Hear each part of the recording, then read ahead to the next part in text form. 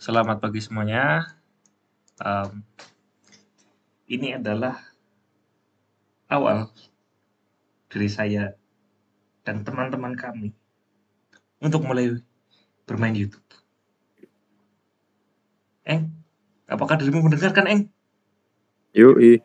Oh. Jadi, ya, baratnya setelah lama sekali tidak punya ide, tidak punya gagasan, kita akan mulai dengan cara melihat sebuah PPT yang ada di LinkedIn. Saya ini dapatkan secara asal tadi apa namanya? Tinggal lihat, download. Oh, kelihatannya menarik. Mari kita bahas. Nomor pertama ini gambarnya terlihat sukses di awal itu adalah penipuan. Um, itu bisa dikatakan benar ya. Ibaratkan bayangkan kalau misalkan kita tiba-tiba sukses lah. Kita tidak bisa apa namanya ya uh, berpikir bahwa sekali sukses langsung sukses terus.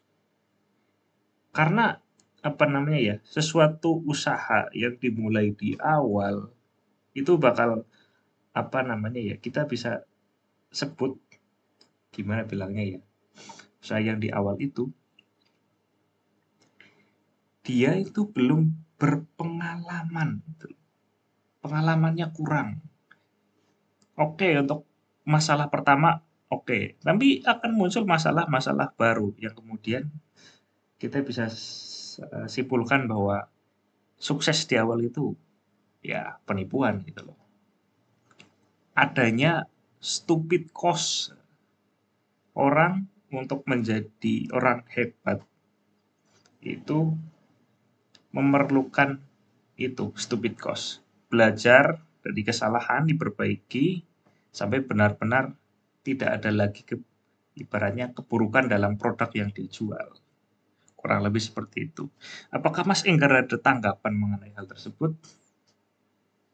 Ya, saya setuju akan hal itu, Pak. Hmm, apakah Anda karena memiliki itu, ya silakan. Karena itu dalam memulai sesuatu suatu hal kita pastinya belum memiliki pengalaman dan masih nol lah ibaratnya dengan hal yang kita lakukan. Sehingga besar kemungkinan kita melakukan kesalahan dan kesalahan tersebut dijadikan sebuah pelajaran untuk masa yang mendatang. Oke, kita lanjut ke slide kedua kayaknya ini. Oh ini, halaman 2. Seperti tadi yang sudah ya saya sebutkan ya. Great things takes time. Sesuatu yang hebat itu membutuhkan waktu. Ini ada contoh gambar Eiffel itu nggak langsung jadi ya. Kalau kita sekarang ya ibaratnya ke di Perancis itu ya, benar nggak En? Hmm? Itu lokasi Eiffel itu di Perancis ya. Paris, Paris, oh, iya. Perancis. Ya. Sama atau beda? Paris adalah sebuah kota sedangkan Prancis French adalah negara. Oke. Nah, saya mohon maaf di situ karena ya pengetahuan saya belum tahu emang. Ya seperti inilah. Jika kita ke sana ya bangunannya sudah jadi. Tapi di balik itu semua ya proses itu membutuhkan waktu. Ini bisa kita kabarkan apa namanya ya. Uh, kita anggaplah kita orang asing Nah, itu si pembuat Menara Eiffel itu orang yang sedang membuat. Kita nggak tahu apa-apa, tiba-tiba jadi. Ya, seperti itulah. Jadi, misalkan kalian ketemu orang ya, jangan pernah menganggap remeh dia gitu.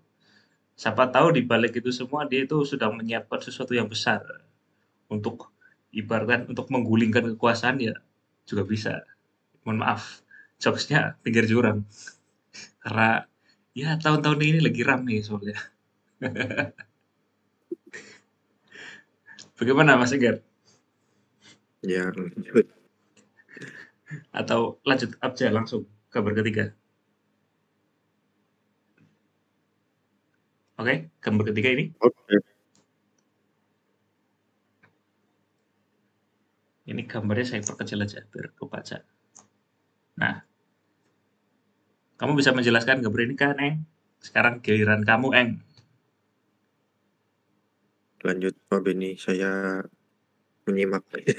Lah gimana? Ini saya artikan, coba kamu jelaskan ya.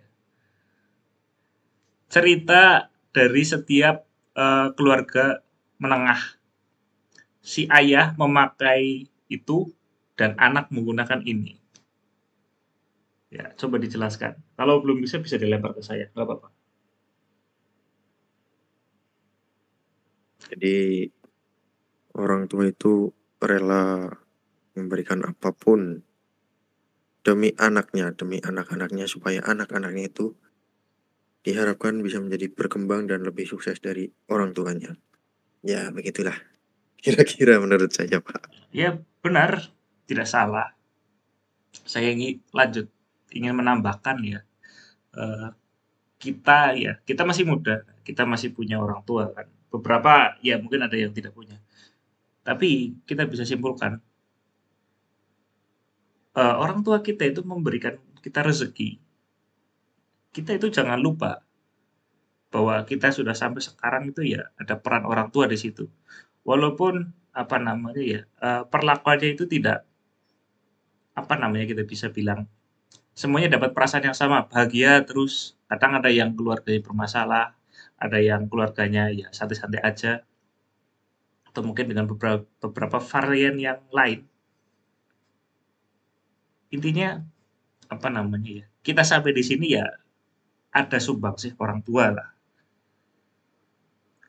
Ini contoh gambar di samping ini adalah contoh orang tua yang benar-benar uh, menaruh harapannya itu kepada putra putrinya itu Ya, kurang lebih seperti itu. Lanjut ke gambar selanjutnya.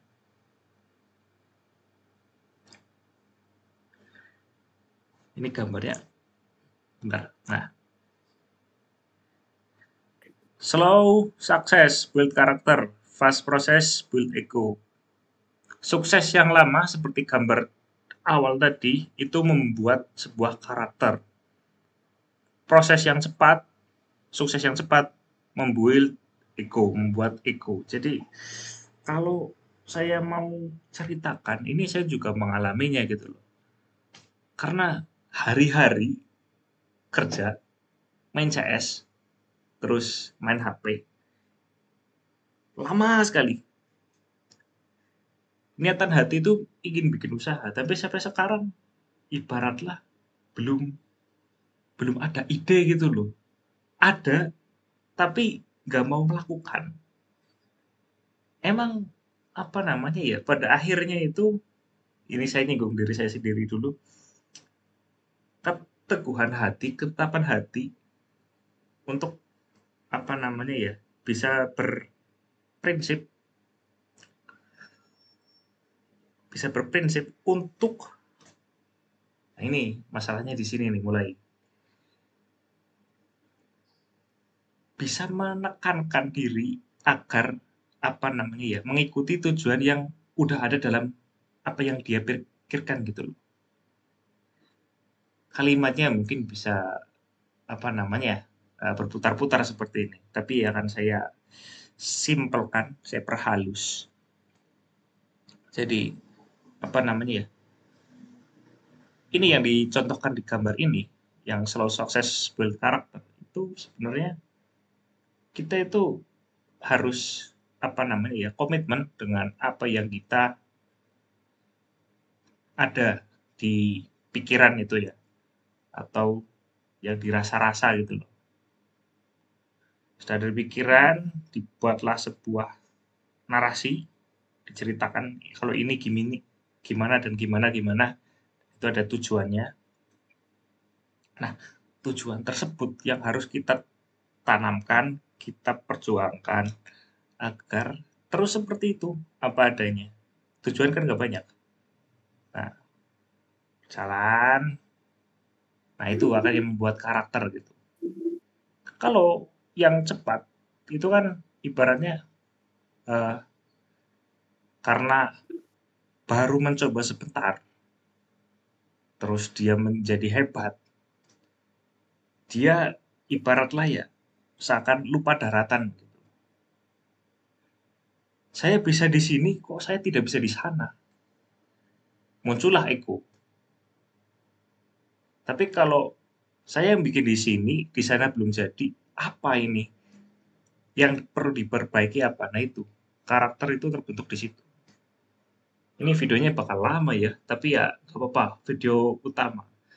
Dan ya ini, dimulai dari start. Entah saya sebenarnya udah lama-lama merencanakan tapi mundur terus, mundur terus, mundur terus.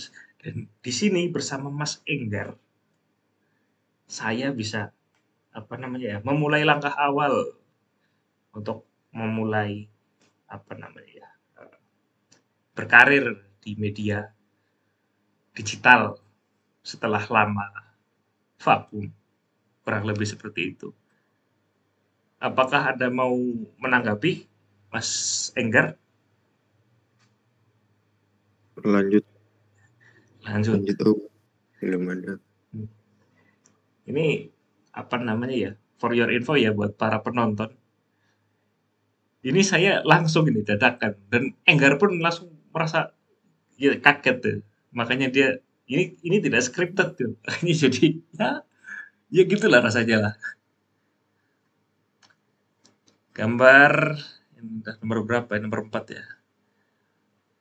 Oke, untuk yang ke bawah akan kita singkat saja ya biar nggak terlalu lama penjelasannya. Always do best, no matter the size of your audience. Ini ada gambar anak kecil yang memainkan sebuah peluit eh apa ini eng? Ini bukan peluit ini. Apa ini namanya? Ruling Sakti. Oh, seruling. Ini yang sebagai audiennya, penontonnya adalah sebuah kucing. Jadi apa pun usahamu ya kan orang beda-beda ya usahanya tiap pekerjaannya masing-masing. Di saat memulai, walaupun yang nonton satu atau walaupun belum ada yang nonton, tetap lakukan itu dengan semaksimal mungkin. Buatlah satu penonton tersebut ya merasakan apa namanya ya kenyamanan. Karena pada dasarnya ya perbuatan yang tidak pernah berhentilah yang akan uh, terlihat pertumbuhannya gitu. Jadi kalau berhenti di tengah-tengah atau berhenti mendekati sebelum ten tenar atau populer ya itu sebenarnya usaha yang melelahkan gitu loh. Tidak tidak terbayar lebih seperti itu. Lanjut.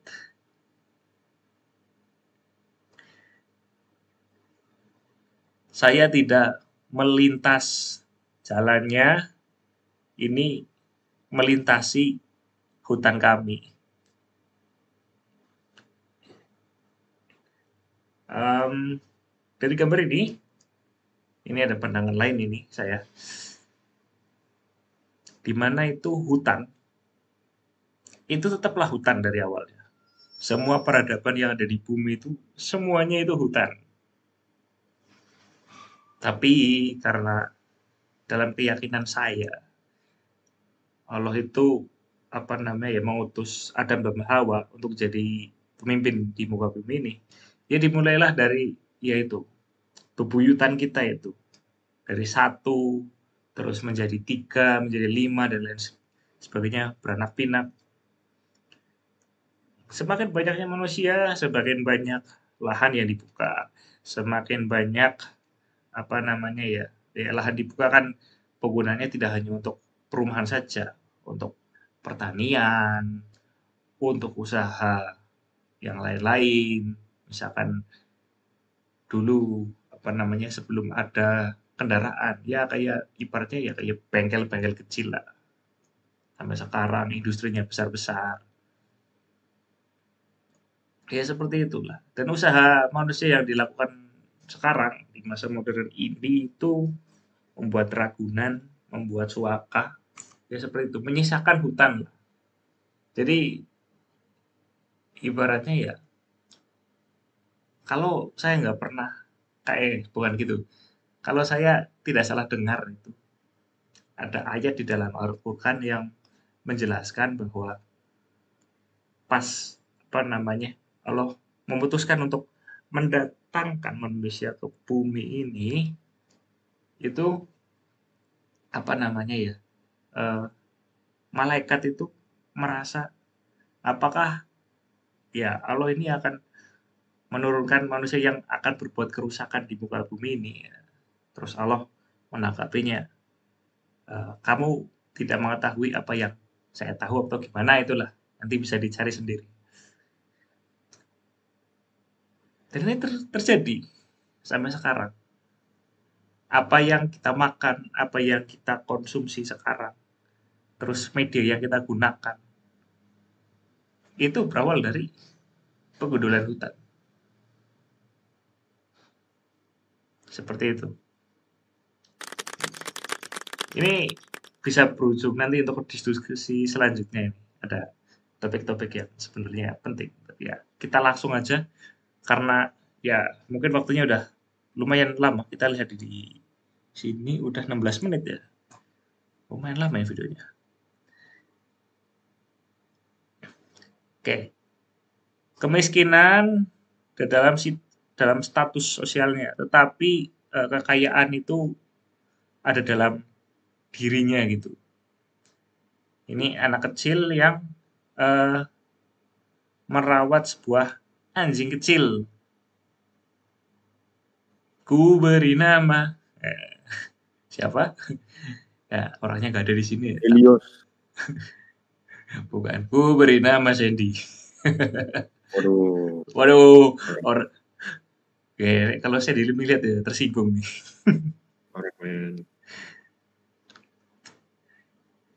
Ya seperti itu. Lanjut. Jika Tuhan membuat kamu menunggu, Kemudian bersiaplah untuk mendapatkan lebih dari apa yang kamu minta. Ya, penjelasan singkatnya itu jika kita lah ingin kaya atau mungkin ingin memiliki sesuatu yang lebih tapi belum tercapai dan kita masih fokus untuk mengusahakannya akan diberikan sesuatu yang tidak pernah kita bayangkan sebelumnya dan itu le lebih dari apa yang kita bayangkan. Kurang lebih seperti itu. Ini contoh paling gampang ya. Um, saya sebelum masuk kerja di Livecom itu tiga bulan berturut-turut ya ya doanya jalan dari dulu juga doanya jalan. Terus sambil apply-apply terus setiap hari. Sampai pada akhirnya ya ketemu gitu loh. Saya berharapnya itu ya bekerja di ISP biasa gitu loh. Di perusahaan negeri biasa ya. Misalkan di Icon Iconet itu atau mungkin di Telkom ini Mas Enggar bekerja di Telkom atau mungkin di perusahaan telekomunikasi lainnya gitu karena beberapa teman saya itu kerjanya di situ. Tapi Allah berkehendak lain dan saya akhirnya bekerja di Livecom. Lanjut. Uang itu bukanlah apa-apa di saat kamu memiliki orang yang cocok di sisi kamu gitu loh. Jadi ini pendapat yang tidak se patutnya benar, tapi tidak salah gitu loh. Saya menjelaskan ini mungkin Mas Engger akan menyanggah kalau bisa ya. Jadi dari pandangan saya, iya emang uang itu apa namanya ya bukanlah apa-apa saat punya orang yang disayang atau orang yang ya berarti lah. Tetapi dunia ini jika ada uangnya kepentingan-kepentingan yang apa namanya ya, kita gambarkan dua insan ini perlukan itu jadi mudah gitu loh cuman itu dibarengi dengan kemampuan untuk uh, mengatur keuangannya gitu loh jadi punya uang nggak apa namanya dihamburkan untuk ini ini ini ini gitu loh Apakah Mas Enggar mau menyanggah atau menanggapi? Ya, saya setuju dengan pernyataan Anda Bapak yang barusan bahwa uang bukanlah sesuatu yang apa namanya? Yang penting ya. Yang ya itulah uang bukanlah apa-apa jika kita berada bersama orang yang saling menyayangi dengan kita. Tapi secara realistis Wah, di masa masa-masa sekarang ini, walaupun Anda saling menyayangi dan saling mencintai, besar kemungkinan uang itu akan mengacaukan hal tersebut. Ya. Ya begitulah kira-kira. ya namanya uang ya seperti itu.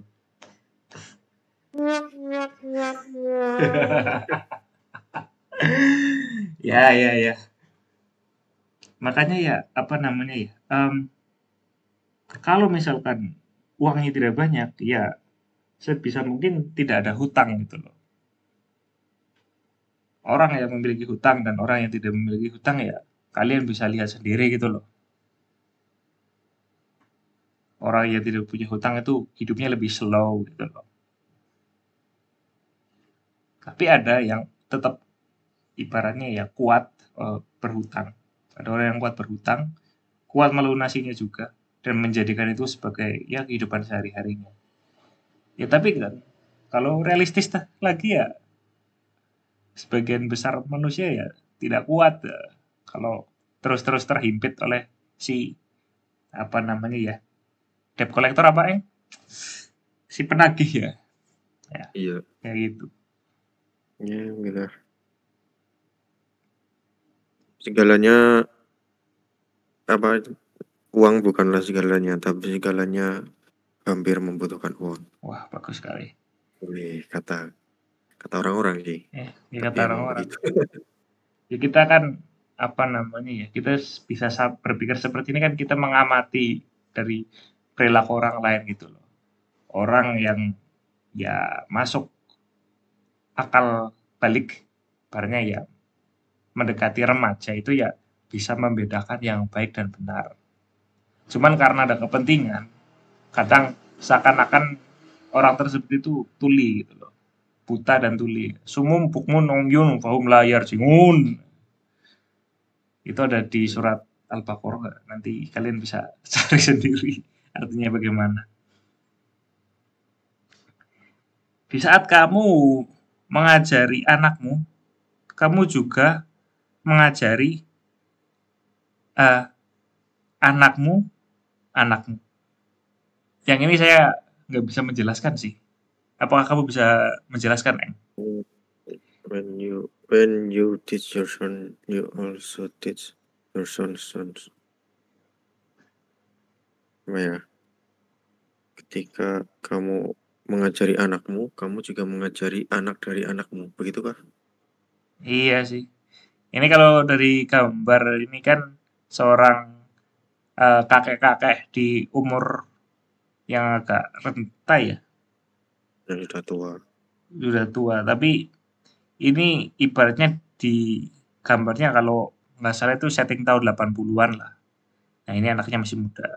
Nah anaknya setelah tua, ya nggak tua sih. Setelah bapak-bapak, ini ibaratnya seusia ayah kita. Nah ini ini kita gitu loh. Mungkin yang bisa diambil dari sini kayak saat ini si kakek ini kursor saya terlihat nggak Eng? Terlihat Nah, saat si kakek ini misalkan mengajarkan kamu jadilah anak yang disiplin. Disiplin untuk bangun, untuk tidur, merapikan kasur, mencuci piring dan lain sebagainya. Pokoknya yang bau-bau disiplin gitu. Tepat waktu untuk bekerja dan lain sebagainya. Dan dia akan mengambil intisarinya, disiplin. Dan ini akan diajarkan ke cucunya. Turun-temurun. Iya, cucunya si kakek. Tapi dengan cara penyampaian yang berbeda. Saya yakin setiap generasi itu punya biasnya masing-masing. Jadi agak tujuannya sama tapi agak membelok dikit gitu loh. Ya kalau mau apa namanya ya mau lebih gamblang aja ya kitab-kitab yang ada di dunia ini ya itu kan semuanya kan membias gitu kecuali Al-Quran yang dijaga sampai sekarang 144 surat dengan ya berapa ya ayatnya banyak lah itu dijaga sampai sekarang tidak ada yang merubahnya meskipun ada pasti ketahuan benar gak Eng? Ya, betul. Jadi itu saja. Semoga bermanfaat. Ini video yang langsung dadakan supaya apa namanya ya uh, bisa memotivasi anda para penonton dan bisa memotivasi kami agar apa namanya ya uh, bisa mempertahankan pemikiran yang seperti ini gitu loh. Bahwa sesungguhnya menyedarkan seseorang itu lebih penting dari sekedar bekerja pulang dan mainan HP terus gitu loh itu masalah yang dialami saya. Saya masih anak muda ya. Belum belum belum berkeluarga sih masih anak muda. Itu masalah yang paling ibadah ya paling penting sekarang itu. Masalah menganggur-anggurkan waktu. Kalau dulu kan nggak semudah sekarang. Teknologi ibaratnya ada di genggaman tangan dulu untuk bisa berkomunikasi dengan orang terdekat pun memerlukan apa namanya ya usaha untuk pergi ke wartel memasukkan koin dan diputar-putar. Nah, for your info ya kita berdua ini orang-orang telekomunikasi. Jadi ya kalau ada apa-apa ya Pak disangkut paut ini ya ke bau-bau telekomunikasi. Seperti ya hubungan jarak jauh gitu melalui saluran telepon. Contohnya seperti itu. Ya tidak, Egar? Betul. Ya. Sekian dari saya. Apabila banyak salahnya, saya mohon maaf. Maaf. Saya pamit undur diri. Wassalamualaikum warahmatullahi wabarakatuh. Waalaikumsalam warahmatullahi wabarakatuh. Oh, mantap sekali.